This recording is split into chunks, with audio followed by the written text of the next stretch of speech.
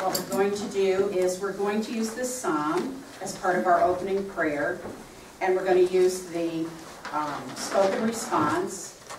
So after we begin, we're going to, I'll say a little prayer, and then I will do the spoken response, and then you repeat that, and then, just like we do at Mass, at, at the Liturgy of the Word. Um, we always begin everything that we do in, uh, as Catholics by making the sign of the cross. We do that because we really mark ourselves with the truth that Father Jerome talked about last week, and that is that God is a community of persons, the Father, the Son, and the Holy Spirit. We use this ancient sign to show that we belong to God, that we belong to the one who made us and the one who saved us, and the one who continues to animate our life from the time we're born until the time we die, and in fact forever. So you don't have to be Catholic to make the sign of the cross. So I invite anybody, as we go on through RCIA, as we get, begin to pray, that you're certainly welcome to make the sign of the cross if you feel comfortable doing that. So we begin in the name of the Father, and the Son, and the Holy Spirit. Lord, I ask you to come with us this evening, to send your Spirit, to open our hearts and our minds, so that we can know you more, so that we can love you, so that we can open our hearts, so that our lives can be conformed to your Son, Jesus Christ. We pray especially for those people who lost their lives today in Washington. We pray that all violence would cease, that you would come and be embraced by all as the Prince of Peace. And we ask you to keep all of our families safe, help us to live a life that is free of fear and rooted in you. And now we pray a psalm. We pray a prayer that maybe Jesus prayed, because Jesus did pray the psalms. O oh God, let all the nations praise you. O God, let all the nations praise you. May God be gracious to us and bless us, and make his face to shine upon us, that thy way may be known upon earth, thy saving power among all nations. O God, let all the nations praise you. Let the peoples praise thee, O God. Let all the peoples praise thee. Let the nations be glad and sing for joy. For thou dost judge the people with equity, and guide the nations upon the earth. O God, let all the nations praise you. Let the peoples praise thee, O God. Let all the peoples praise thee. The earth has yielded its increase. God, our God, has blessed us. God has blessed us. Let all the ends of the earth fear him. O oh God, let all the nations praise you. Tonight we bring all of our hopes and dreams, all of our intentions, and we give them to you. Give them to you in the name of your Son, in the power of the Holy Spirit. Amen. In the name of the Father, and the Son, and the Holy Spirit. Okay. I'm going to do a Marco Rubio. Tonight I'm going to talk about the story of the people of God. And actually, this is all of our story. Because God created everyone, every person who is born.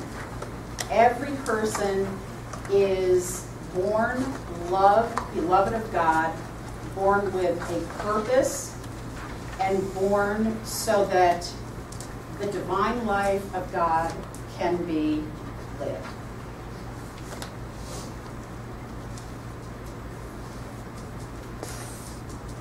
So this is our story. It's everybody's story. Now, some people never hear the story. Some people hear the story and reject the story.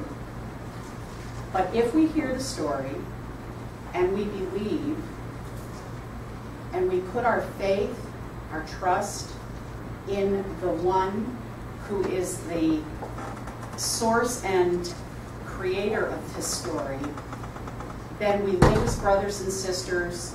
We can be through baptism incorporated into the church, and we can become part of this ongoing story that began with before, even before creation. I'm going to make a statement. God willed to give us hope by offering his mere creatures, us, intimate union with himself. God willed to give us hope by offering his mere creatures intimate union with himself, gradually revealed in a succession of covenants. We are saved from sin for this purpose, so that we might choose to respond in faith to his final covenant in the Son. It's a lot of words. It's a lot of words that we don't necessarily always use. And I'm going to talk about just a few of those words before we start. When we talk about God, and Father Jerome talked about last week, who is God? And that's a pretty mind-blowing, large topic. Okay, we, no matter how much we talk about it, we could talk about this every night, just who is God? We would never exhaust that because God is beyond our understanding and comprehension.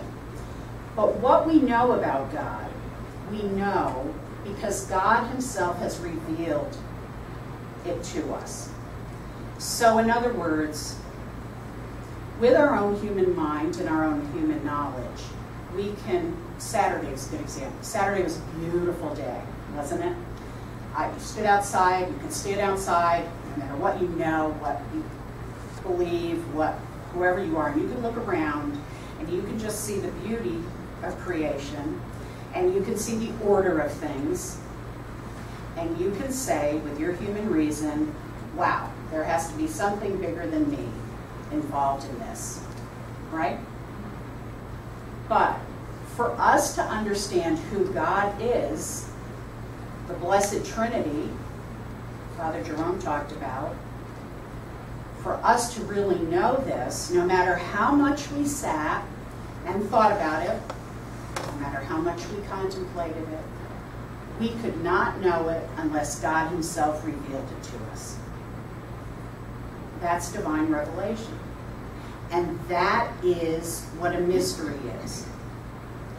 A mystery is or mysteries are those things that we could not know unless they were revealed to us by God. Now, once they're revealed by God, we can understand them. The human mind can understand them. Maybe not fully, but they can be understood and they are reasonable. So everything we talk about in RCIA, everything that the church proposes for our belief is not something that was concocted by someone in the third century or someone um, in the time of Moses or someone who, um, you know, was in a great university. Everything that we talk about or propose for belief has been revealed to us by God. So we deliver divine truths, not human truths, divine truths, given to us by God Himself in various ways. Now, there are many people who come from faiths that believe that revelation continues. So, in other words, some people may come from a, a faith or a, or a religion that says, the leader of my church woke up last night and God revealed to him something that was never known before. If that, that's not, that's never going to happen in the Catholic Church because God de delivered to us over generation after generation after generation after generation through the whole Old Testament. And then finally, in the fullness of revelation came with Jesus Christ. And then Jesus, God's final and full word, with the death of Jesus and his ascension into heaven, and then with the death of those who he had taught from his mouth, with the death of the last apostle, divine revelation was closed. So tradition tells us that St. John was the last apostle, the last one that was with Jesus, who heard the truth delivered from God's own mouth to tell us about not only who God was, but who we were as human persons. Once John died, divine revelation was closed. The truth that was been that was given was then had to be articulated, right? So people had had an experience of Jesus Christ. They knew he was God. They had witnessed the power of the Holy Spirit. They had also been taught through many thousands of years that God was one. And Jesus was the Son of God. So now, what Father Jerome talked about last week had to be articulated. How is it that we have one God who is three divine persons? That took long time. It is very difficult sometimes to go from an experience and then to be able to share that experience with others in a way that is true and meaningful. That is why Jesus left us the church with the Holy Spirit as the guarantor of truth. The Holy Spirit as the church's memory. Now we're getting ahead of ourselves. So this is a long story that begins before time. The other thing is when I talk of God, or any of us talk about God, we use words like He said. God is beyond gender. God is beyond time. God created time. But God is beyond time. And so anytime we use, I use human terms to talk about something that is way beyond, way beyond the physical, okay? Then we begin talking about what faith is, something that is beyond the physical. It is metaphysical, right? And our human language sometimes kind of limps when we try to do that. We do the best we can. But for us to begin this story, it's important that we understand who God is. So before time began, before all of the universe was created, before there was day and night, and there was water, and there were animals, and there was all of this created world that we know, there was God. God existed, has always existed. God has, there was never a time when there wasn't God.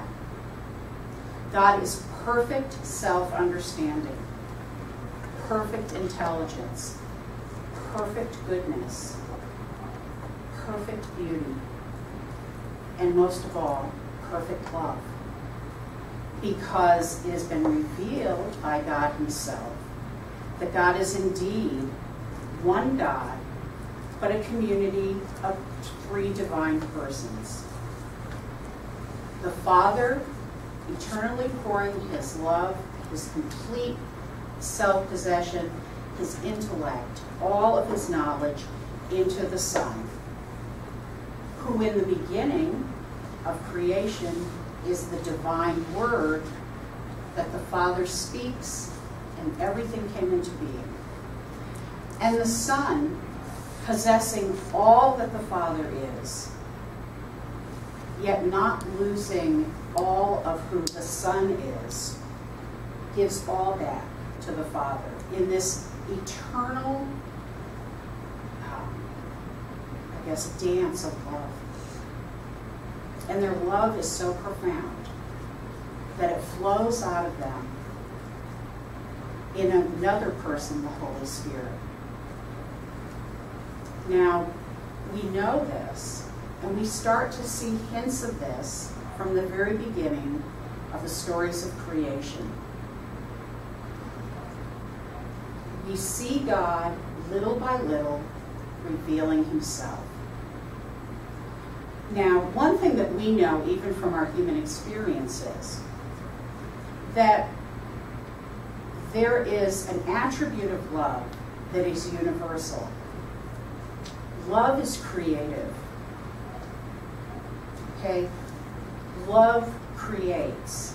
Creates in our lives through children, but it also creates in other ways. Love creates beautiful things. Love creates charity for others. Love is created. This is just in us. But for God, who is absolute perfect love, the creation that flows from God is everything. Everything that exists is this outpouring of the Blessed Trinity. So God creates on all levels. And God created the universe, He created everything that we know in the physical world. He created animals, okay? And He created human beings. And in the book of Genesis, very in the first few chapters of the book of Genesis, we begin to see a hint of this community of love that God is. Because God says, let us create man in our image. So in the image of God, he created him. Male and female, he created them. He created human persons in his image. What does that mean? Doesn't mean the way they look, doesn't mean the clothes they wear. He created human beings to share in the divine life that is this love. Now, everything else in the universe, you know, what we have? These physical things that are created are things that were created for our use. But one thing that we know it is to be created in God's image is that we use things, but we don't use people, right? We don't use persons. That being created in the image and likeness of God means that we are created to love with complete generosity other human persons. If we are a married couple, it means that we love that person that we're given, holding nothing back. And this is what it means to be created in the image and likeness of God. So, God also created other beings. He created human beings who are corporal. We have bodies, right? But we also have eternal souls. But God also created other beings. He created angels. He created beings, these magnificent beings of light, pure intellect, pure spirit who are not corporal, they don't have bodies. And they were created in a particular way for particular reasons, to glorify Him and to do His work. But angels were created knowing everything, so that when God created the angels, He created them with their intellect fully intact, their will their, um, all of their faculties fully intact. And at their creation, he said to them, Will you serve me? And most of the angels said yes, but some said no. And when they said no, they knew the consequence of that. And they took themselves from the presence of God. The angels fell. They fell from God's grace, from his divine love, from this presence of the divine. They did this knowing the consequences, that they were taking themselves out of God's graces. This is Satan and his minions. Okay, the angels fell. Now, human beings, we, we know this. Jake has a kind of a new baby. You know, you've all seen babies. We were all babies. We're all, we all know how we are. We are not born knowing everything, right? That's not how we're born. We're incremental people. We have to learn and grow. Okay, so, and that's how we were created.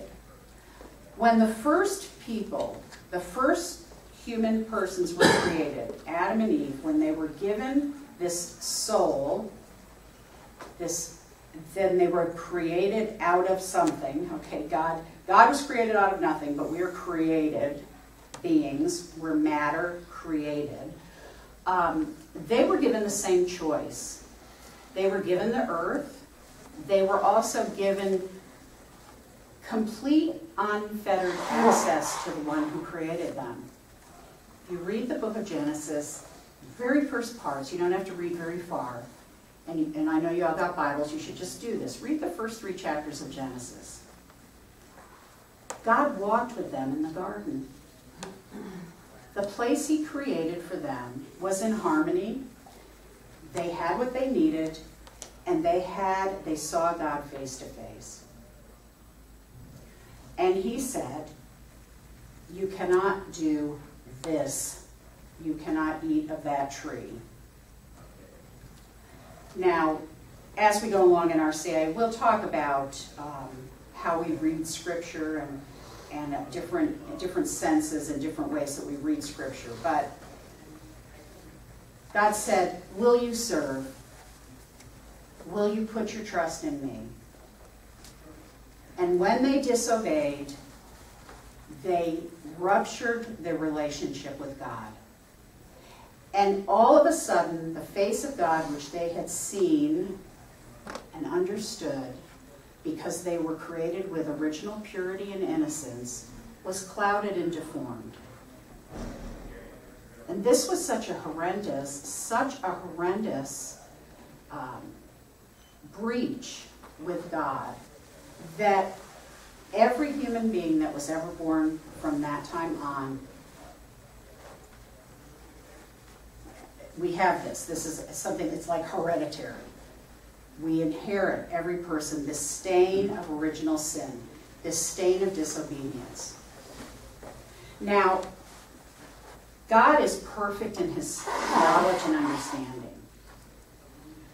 And God knew when we were created and he gave us probably one of the most precious gifts he could have, and that was free will, that we would disobey, that this would happen.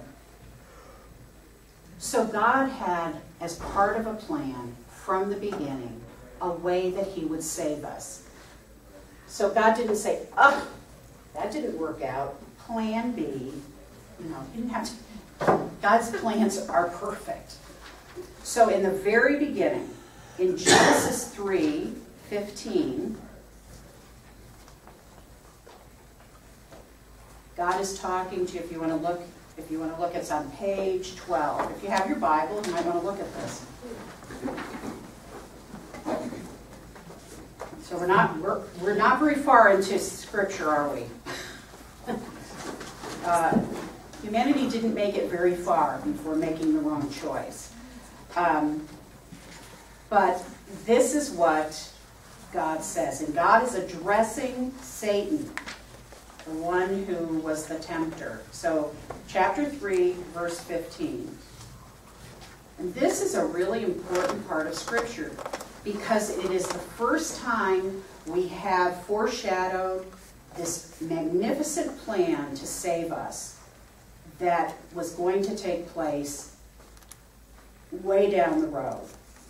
God is talking to Satan.